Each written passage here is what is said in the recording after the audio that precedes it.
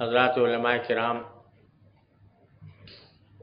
और मेरे इंतहाई अज़ीज़ और मेहरबान साथियों, अस्सलाम वालेकुम व रहमतुल्लाहि ताला व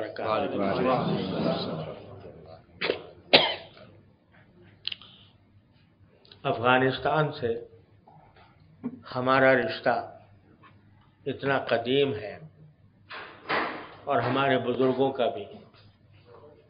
क्या आप सबको मालूम है कि हज़रत शेख हिंद कदसल्ला तरह उन्होंने हिंदुस्तान की आज़ादी की जो तहरीक शुरू फरमाई, उसके लिए अजमान उबैदुल्ला सिंधी साहब रहमत को अफ़गानिस्तान भेजा और यहाँ की हुकूमत के साथ रवाबित कायम करके हिंदुस्तान को आज़ाद कराने के लिए एक अजीम जद्दोजहद फरमाई।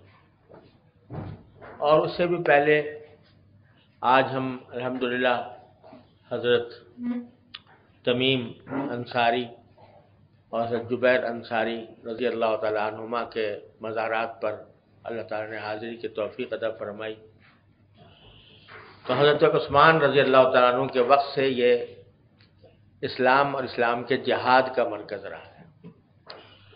और आप सब हजरात को के लिए इंतहाई मुबारकबाद का मकाम है कि अल्लाह तबारक ताली ने वो जिहाद जो हज़रत उस्मान गनी रज़ी अल्लाह तु के ज़माने में खिलाफत राशदा में शुरू हुआ था, उसका तसलसल आप हजरात ने कायम किया और अल्लाह तबारक वाली ने अपने फजल करम से फ़तह मुबीन अता फ़रमाई और इमारत इस्लामिया का क़्याम अमल में आया।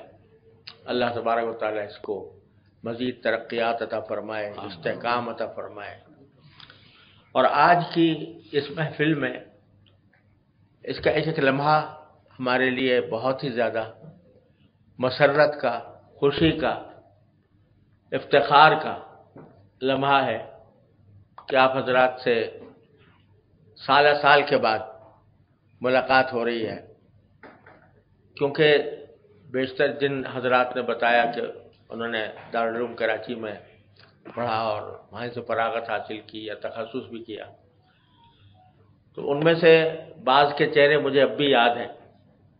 अगरचे मेरा हाफजा कमज़ोर है और मैंने शायद रुख्सत होते हुए जो आप हजरात से बात किया करता हूँ तो उसमें याद किया करता हूँ कि मेरा हाफजा कमज़ोर है, लिहाजा सूरत से बहुत सी मेरे अपने साथी याद नहीं रहते।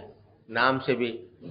लेकिन अल्लाह तबारक ताली के फजल करम से इस बात का मामूल है कि अपने तमाम साथियों के लिए जब भी दुआ की तोफ़ी होती है तो सवा सब साथियों के लिए इल्म अमल की अल्लाह ताला की रज़ा की के लिए दुआ करता हूँ।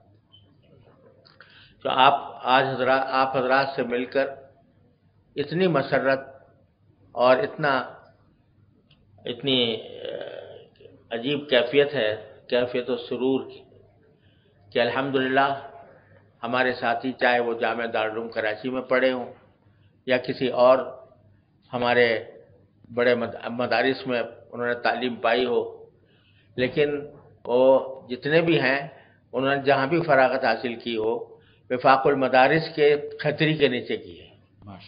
अल्लाह तबारक वाली ने विफाकुल मदारिस को एक ऐसा हमारे लिए साहिबान बनाया है कि कोई कहीं भी पढ़ रहा हो लेकिन आखिरी इम्तहान और आखिरी इसनाद उसकी विफाकुल मदारिस से जारी होती है। लिहाजा आप सब हजरात किसी भी जामिया में पढ़े हों वफाकुल मदारिस के अबनाह में दाखिल हैं। और वफाकुल मदारिस के आ, काम में आपका हिस्सा है।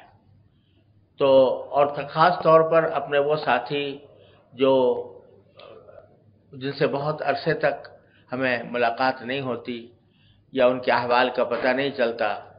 तो जब हम दारूम में हमने एक सिलसिला शुरू किया है कि मुख्तलिफ़ सन के जो फजला हैं, वो जमा होते हैं किसी किसी वक्त और हर एक अपने अपने जो कुछ किस काम में मसरूफ़ है, वो उसके बारे में बयान करता है।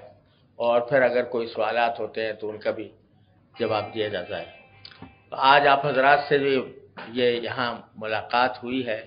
ये समझ लीजिए कि हमारे इस सफ़र अफ़गानिस्तान का एक बहुत बड़ा हासिल है कि जिसमें अल्लाह ताला ने आप हजरात से मिलने की और इस बात की और ज़्यादा मसरत है कि आप हजरात में से जितने भी हैं, वो किसी न किसी दीन की एक अजीम खिदमत में मसरूफ़ हैं। और इस बात की और ज़्यादा खुशी है कि अमारत इस्लामिया जो एक नई रियासत अल्लाह ताला ने कायम फरमाई है इस्लामी रियासत उसके साथ आप इस तरह जुड़े हुए हैं कि उनके मदारस में भी आप का, काम कर रहे हैं उनके तखससात में भी काम कर रहे हैं उनके जो मसाइल हैं माशी हों या इकतसादी हों या सिफारती हों वो उन सब में आपका बेशतर हजरात का हिस्सा लगा हुआ है और उस खिदमत में आप मसरूफ़ हैं। एक ज़माने में तस्वूर ये होता था कि ये सियासत जो है या किसी कोई हुकूमत चलाना, ये मौलवियों का काम नहीं है, मुल्लाओं का काम नहीं है। मुल्ला के दौड़ मस्जिद तक, ये जुमला हमारे यहाँ मशहूर है कि उसका सारा कुछ इल्म और अमल वो मस्जिद की हद तक मौजूद रहता है। लेकिन आप हजरात ने यह साबित कर दिया, अल्हम्दुलिल्लाह, कि ये मुल्ला जो मस्जिद और मदरसे से पैदा हुआ है, ये सारी दुनिया की आलमी ताकतों को ललकार सकता है। और उनके मुकाबले में एक इंतहाई मुस्तकम निज़ाम खुद कायम कर सकता है। और आप हजरात उस निज़ाम के अंदर माविन कर मावनत कर रहे हैं, उसमें खिदमत अंजाम दे रहे हैं तो हमारी दिली दुआएँ आप आप हजरात के साथ हैं। और हम बहुत ज़्यादा इस बात से खुश हैं कि आप इस निज़ाम से वाबस्ता होकर खदमात अंजाम दे रहे हैं। मेरा वाक़ता दिल ये चाहता था कि हमारा यहाँ का सफ़र और लंबा हो और अफ़गानिस्तान के कुछ दूसरे इलाक़ों में भी जाने का मौका मिले, जहाँ बहुत से तारीख़ी मकामात भी हैं। अफ़गानिस्तान तो पूरी तारीख़ भरी हुई है अफ़गानिस्तान के मुख्तलिफ़ मकाम से। वहाँ भी जाना हो, अपने वहाँ के दोस्तों से भी मुलाकात हो, और अल्लाह ताला तौफीक दे तो फिर यहाँ का भी आप हजरात फरमा रहे थे कि सफ़रनामा, वो भी लिखने का, अगर जब मैं बूढ़ा हो गया हूँ, लेकिन दिल चाहता है कि उसका सफ़रनामा भी लिखूँ।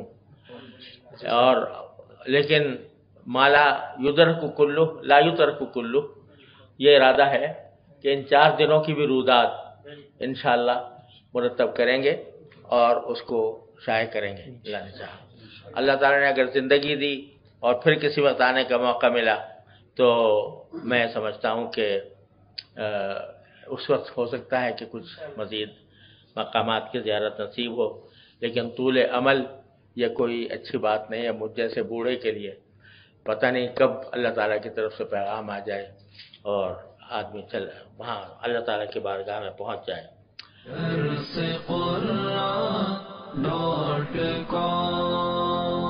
www.darsequran.com